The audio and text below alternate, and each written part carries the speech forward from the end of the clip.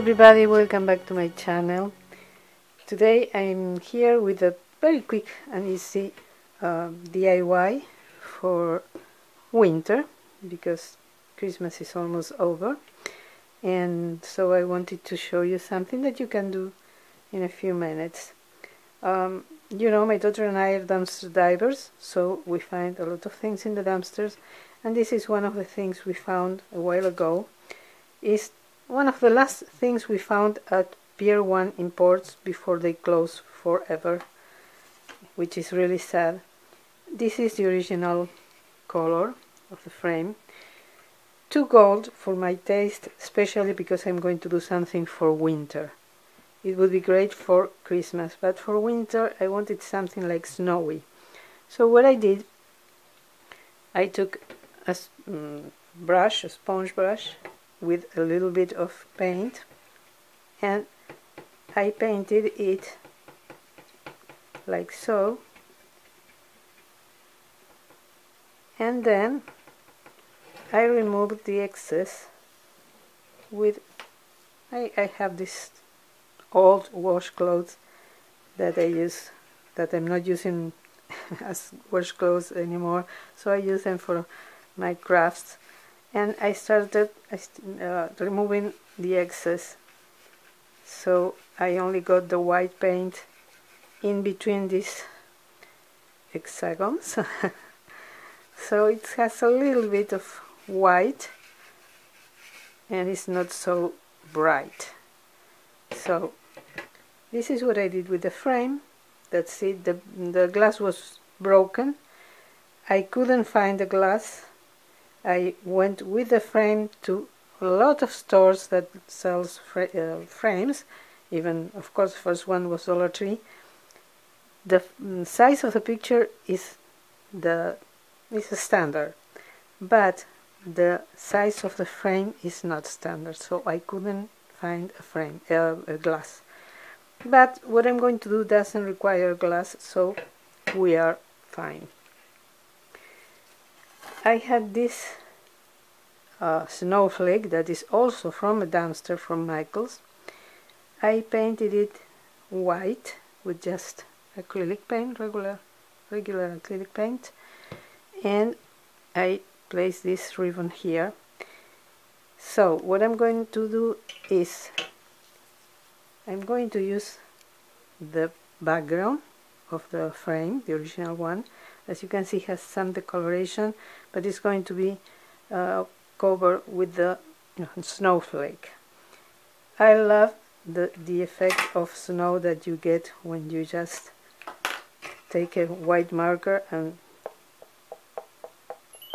do some dots. You see? I love that effect. And I love the this kind of kind of snowflakes. So I watch I look for a hello winter phrase and um, words on Google and I looked at my computer and I copied them to the size I needed and then using white transfer paper I transfer it on the black background. I always insist that if you can invest in white transfer paper it's the best thing to do when you're transferring on a black surface because you get what you want to transfer already in white. So you only have to then use a marker or a brush and go inside the, the letters and the borders.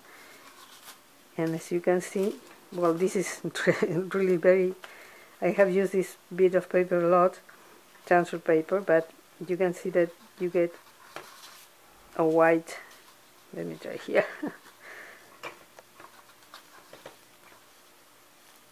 Like so. You see? You get the words in white which helps a lot at the moment when you have to paint them. I use this marker. It's my favorite one. I'm not I have no relation with the, the manufacturer I'm not um, sponsored by them. I simply love them. I have this one which is broad point and I have the fine point one and you can see it works awesomely. So that's what I did in this case. And now I'm going to glue the snowflake on top of this. But first sorry I have to insert this background inside the frame. Of course it's going to be a little bit loose because uh, this space has the room for the glass and I don't have a glass. But doesn't matter. Looks more like a shadow box. So I'm going to lock it. And now I'm going to glue this I made a mark here. I know I want it to be this tip to be here. So this is what I'm going to do. I'm going to add some hot glue here here and here and all those tips of the snowflake. And a little bit up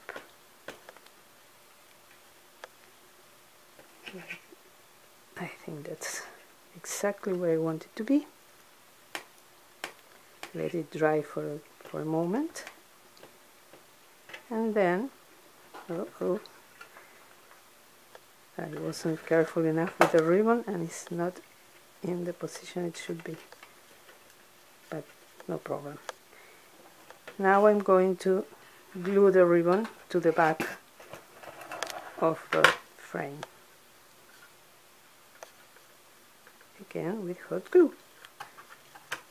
My beloved hot glue. What would be of my life without hot glue? I wouldn't be a crafter. So we are almost done. Let's glue this here.